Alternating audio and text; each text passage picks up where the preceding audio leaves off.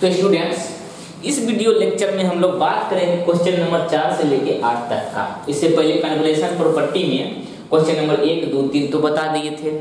अब देखिए question number चार। दो नहीं बताए थे, दो आपके लिए छोड़े थे सिंपल क्वेश्चन क्वेश्चन नंबर चार देखो बाबू गिवेन गिवेन है one by S minus two into S plus two का होल स्क्वायर अब क्या करिए? मान लेते हैं लेट कैपिटल एफ़ एस बराबर पहला term one by S minus two and G S बराबर दूसरा एस प्लस टू का होल स्क्वायर अब इसका स्टूडेंट्स अलग अलग इन्वर्स निकालिए इसीलिए Laplace inverse F S equal to Laplace inverse one by S minus two आप एक बात बताइए, जब s के साथ में कोई नंबर माइनस हो तो वो माइनस वाला बाहर निकल के e पे आ जाता है e पे पावर हो जाता है। यानी इस s के साथ में देखिए माइनस दो है तो बाबू हो जाएगा e पे पावर प्लस दो t बचेगा क्या? Laplace inverse one by S कहोगे, कहाँ से? अरे माइनस टू तो बाहर हो गया तो ऐसे ना बचेगा। तो वन बटे एस का वैल्यू होता है एक। तो यहाँ पे लिखाएगा e पे पावर प्लस टू टी किसका मान है ये?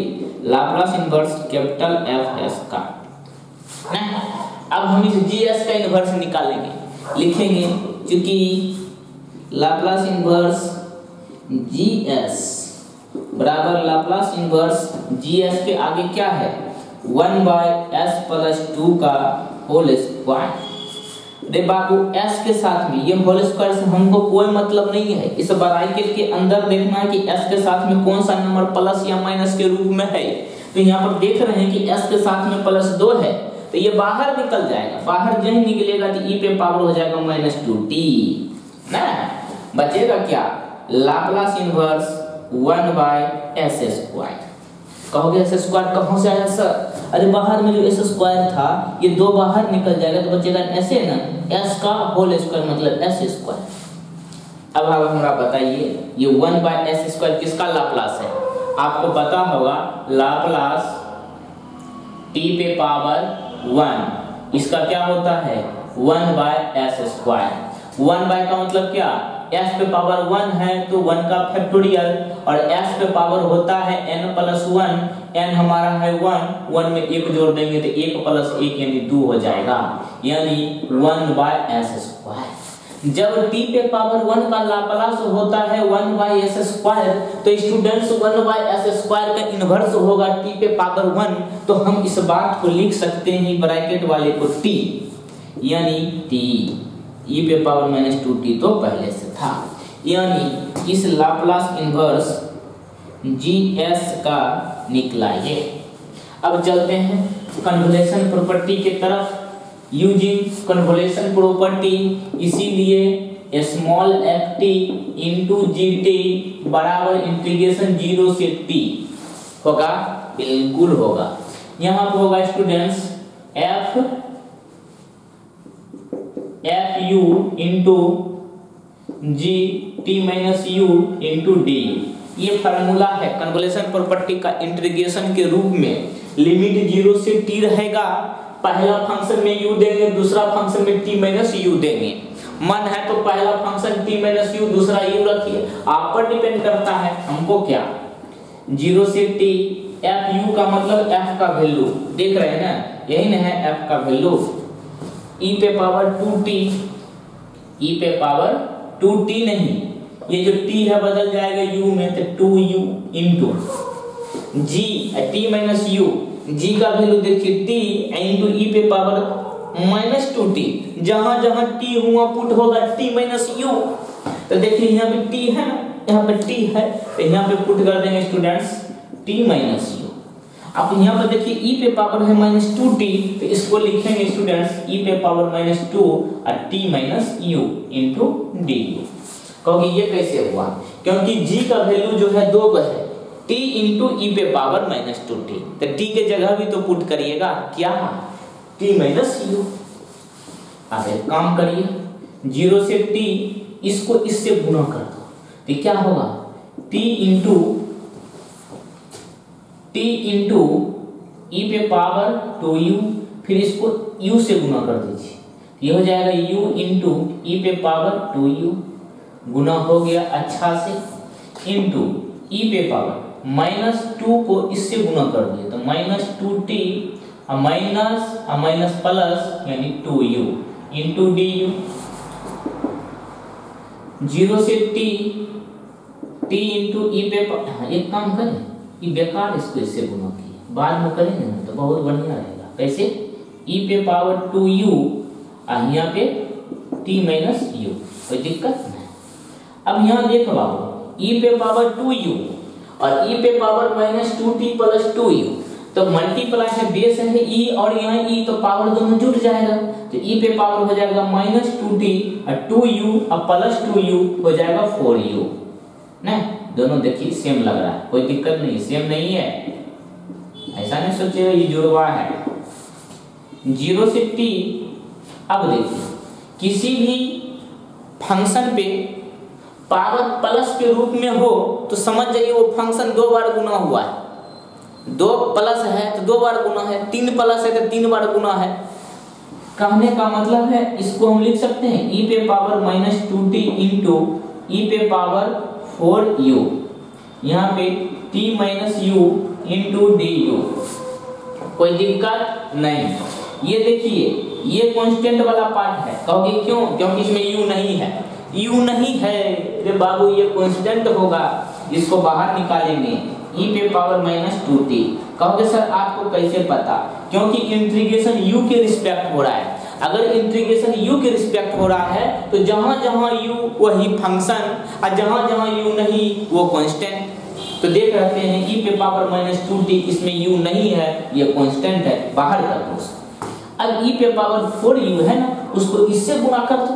लिखेंगे ई पे power four U into T minus u into e पे power four U into D U अब ये अलग अलग हो गया। यहाँ लिखेंगे ई पे पावर माइनस टू टी बड़ी ब्रैकेट देते हुए इसका इंटीग्रेशन करेंगे। टी को बाहर रख के ई पे पावर फोर यू का इंटीग्रेशन करेंगे ज़ीरो से टी है। डी यू तो टी क्यों बाहर करें? अब देखो, ये दोनों जो टर्म है, इसमें टी कॉन्स्टेंट है।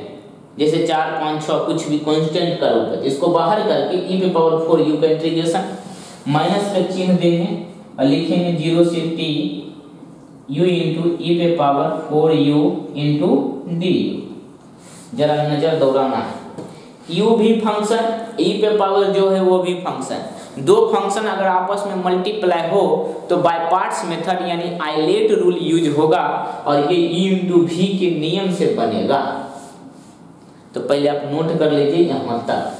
यानी यहाँ से शुरू करिए ये टोटल और यहाँ से यहाँ तक उतार लीजिए, क्योंकि इधर मैं मिटाने वाला आगे से हट गया वीडियो को पाउस कीजिए और लिख लीजिए। मिटाऊं? इजाज़त। मिटाने वाला का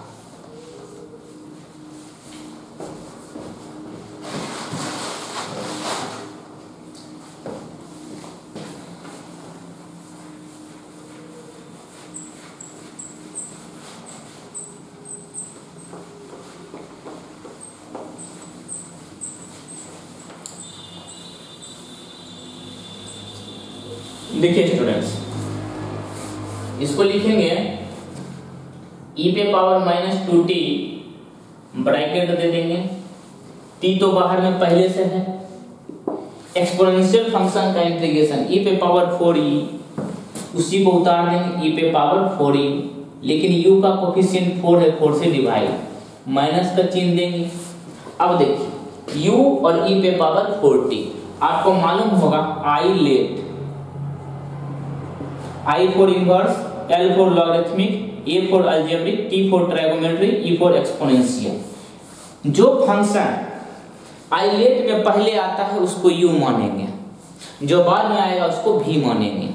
अब इसमें देखिए ये u क्या हो सकता है? अल्जेब्रिक और ये e क्या है? एक्सपोनेंशियल इसका मतलब इसको हम यू मानेंगे इसको भी मानेंगे। तो जिसको यू मानते हैं उसका होता है इधर बाहर रखेंगे कहेंगे तुम बाहर में रहो। और इंटीग्रेशन किसका करेंगे? ई e पे पावर फोर यू का। ई e पे power four U into D U तो बाबू साहब इधर से हट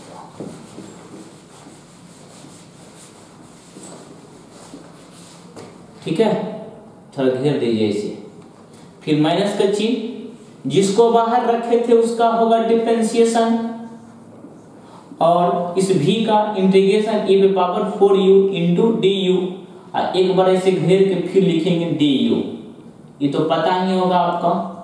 बिल्कुल ज़ीरो से लेके टी तक, ना? अब लिखेंगे e पे power minus two T T e पे पावर फोर यू बटे में फोर माइनस यहाँ हो जाएगा स्टूडेंट्स u इंटू इसका करेंगे तो ई पे पावर फोर यू बटे में फोर। यू का कोफिशियंट फोर है तो फोर लिखेंगे। माइनस यू का डिफ्रेंसिएशन एक ई पे पावर फोर यू बटे फोर इंटू डी यू ये वाला ना? आ, ये हो जाएगा स्टूडेंट्स ये ब्रैकेट घेरते हुए ज़ीरो से टी ई पे power minus two T T e पे पावर फोर यू बटे में फोर इस ब्रैकेट को तोड़ना है तो माइनस यू बटे फोर ई पे power four U minus minus plus e पे पावर फोर यू बटे में फोर अब पहले से फोर चार चक सोलह ज़ीरो से टी अब करिए क्या? जहाँ जहाँ यू वहाँ पे पुट कर देंगे अपर लिमिट टी तो ई पे पावर माइनस टू टी और यहाँ देखिए टी तो टी ही रहेगा।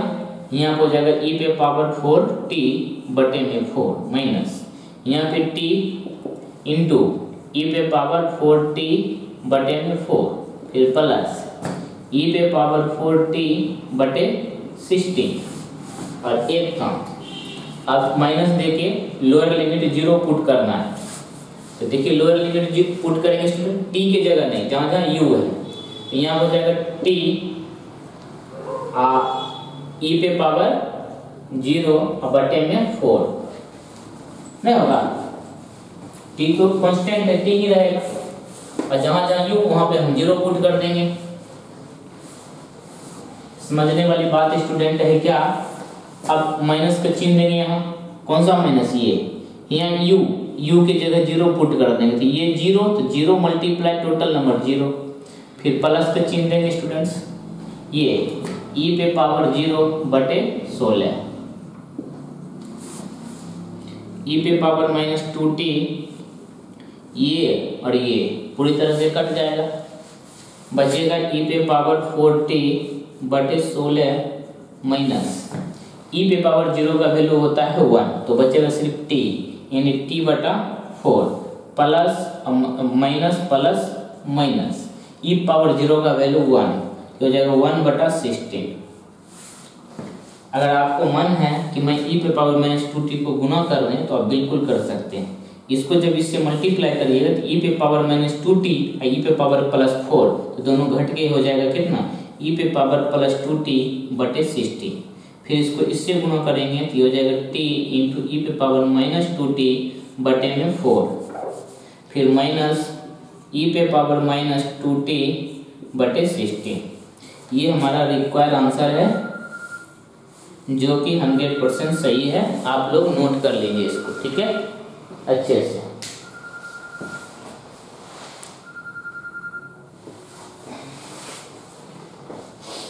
नोट करिए, तब तक हम इधर देख लेते हैं आंसर सही है कि गलत।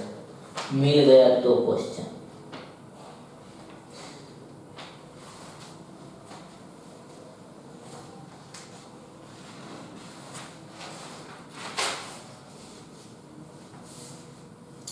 आंसर है वन बटे सिक्सटीन ई पे power two T minus four minus e पे power minus two T into T four T plus plus में minus e power minus two T एक बटा सोलह अगर हम यहाँ से कॉमन लेते हैं तो देखते हैं आंसर मिलता है।